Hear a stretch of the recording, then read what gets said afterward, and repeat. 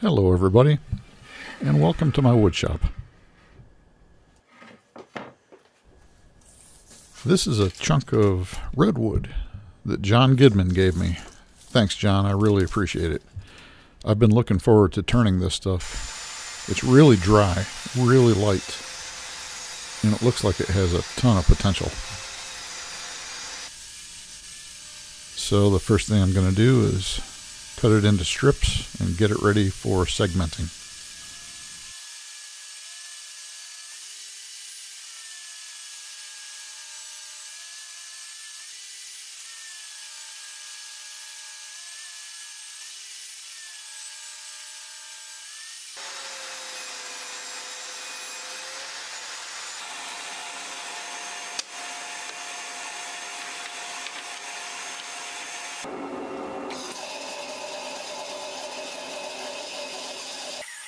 And this is a chunk of maple that I'm going to use for the base of this bowl. Pretty piece, nice grain. It has some figure.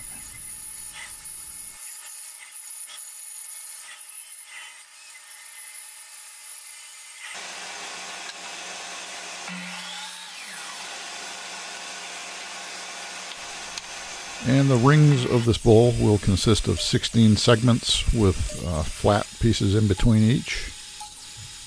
So I'm cutting at 11.25 degrees.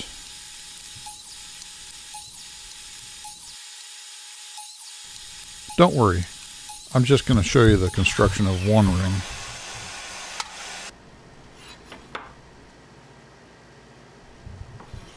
In between each piece of redwood, there's going to be a little piece of uh, very thin laminate maple. And this is the process that I use to cut the little pieces to the right height and length. I tried using scissors, but the pieces kept breaking.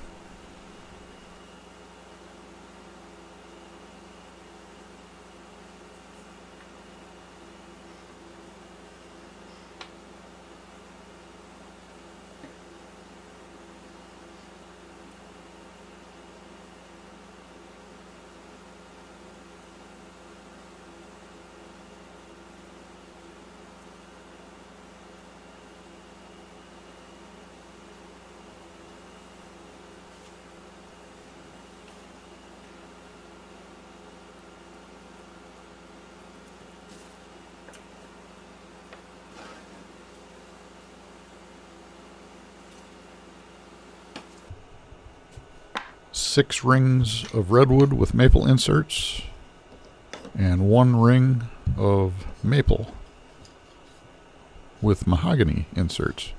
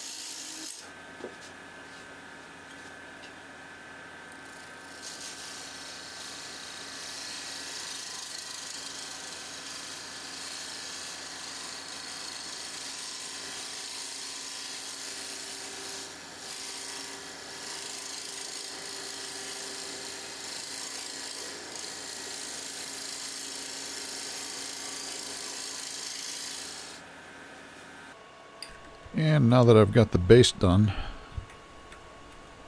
I'll take it off the wormwood screw and flip it around and mount it to the four jaw chuck in expansion mode. And then I'll get the rings glued onto the base here.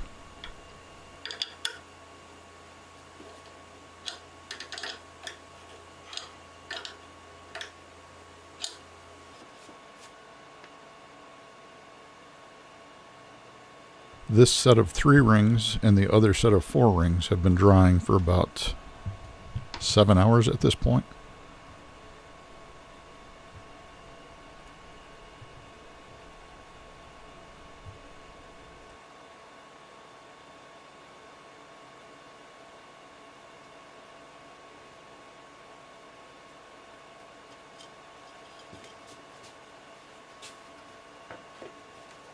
And I let these three rings dry on the base for about two and a half hours. And then I added the other four rings. And let them dry for another three. And that was plenty of time to get to work on the bull.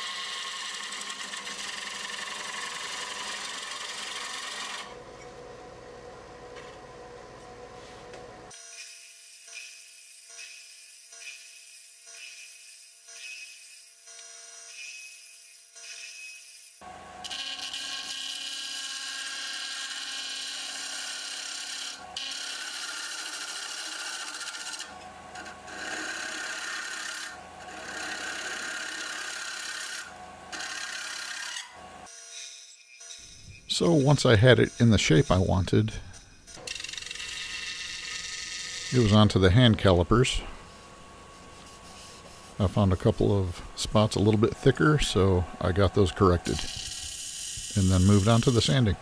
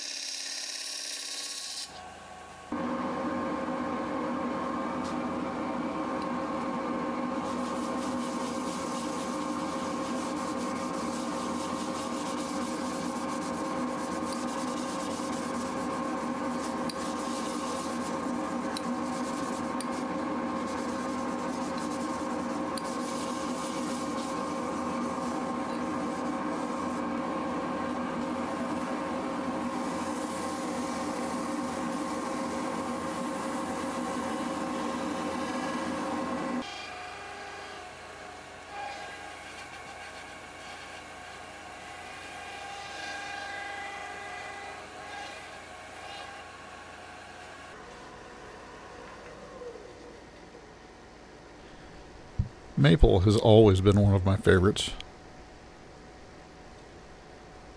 This redwood, though, what a absolute joy to turn. I said it before, it's like turning butter. And it's got some chatoyance. That mixed with that figured maple on the rim. I'm pretty happy with this. Let me know what you think.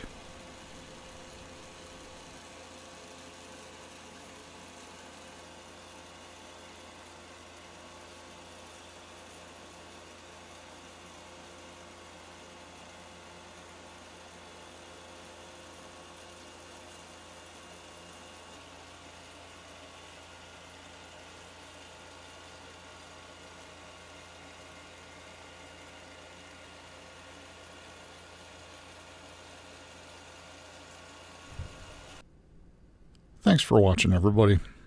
I sure appreciate it.